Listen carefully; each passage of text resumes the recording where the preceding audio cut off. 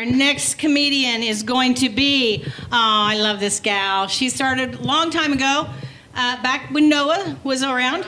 Uh, please put your hands together for Grandma Doris.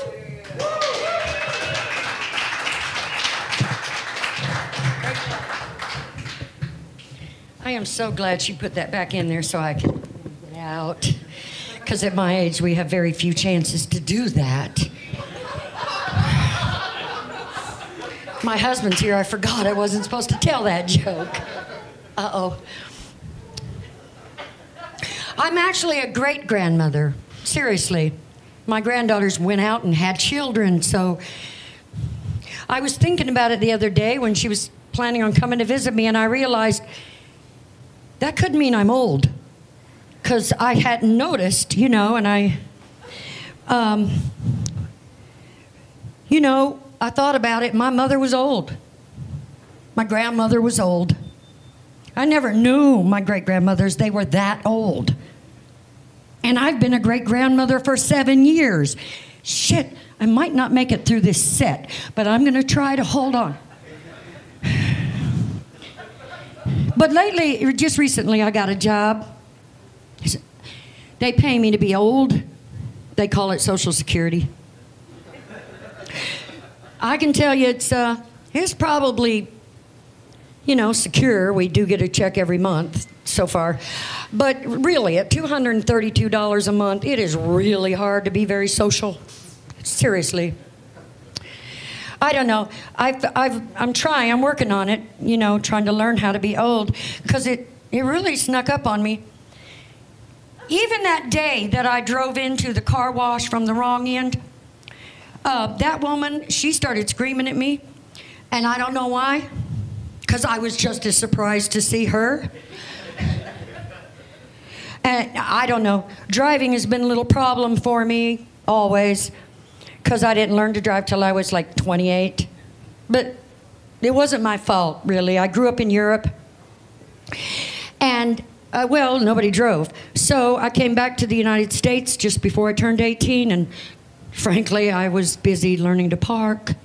And I didn't get around to driving for a long time. Then I got married and I had nothing else to do. So went out and got a driver's license. I've actually been married since 1969. Honest to God. Not to one man. No, no, no. They did overlap a little. I'm careful. I'm not moving on till I know the road ahead. That little white haired man back there, he's got the keys to the road because we just celebrated our anniversary yesterday, and I've been married to him for 33 years. Thank you. It's been really exciting, girls. I want to tell you, because when I married him, he was 19, and I was 30. And it was a very good idea. It's been good ever since. His name is Nick, that little white haired guy. My name is Doris. That makes us Nick at night and Doris Day. That's the way it's been night and day and night and day. I mean, us women get a little uh, tired of it after, you know, 30 or 40 years, but guys don't seem to. They, they don't seem to.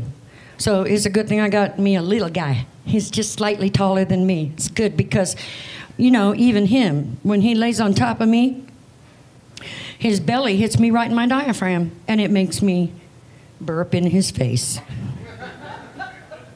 Game over. Frankly, sometimes I plan it that way, but you, you know, the old headache thing that wore out like 30 years ago. So, yeah, no, no. Sometimes it doesn't come out as a burp. And I call that a twofer. Yeah, he serves me chili a lot. I'm not sure what's up with that. I'm not sure. But being old is, is tricky. Uh, It's tricky. It really is. Because, well, I was taught to respect my elders. Were you taught to respect your elders? Well, I, I'm having a hard time finding any, frankly. really getting, I have only, you know, like a couple of people left that I didn't even know. And the rest are people's children and grandchildren. It's a good thing because sometimes I need to call them and say, you know, can you come by later because I got some money for you. I, I didn't really say that. I forgot we were going to post this and my sisters were going to see it. But it is tricky. I'll hear about it. One of them's a Pentecostal. Yeah, I'll hear about it. But um, I, I, it, it does. It gets. Uh, it gets really interesting. I mean, have you ever, you know, like been in Dillon's and you have an entire shopping cart, right? I mean, you got it loaded, and there's like four people in front of you and uh, three or four behind you.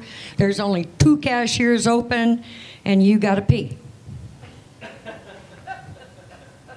So I got to go now.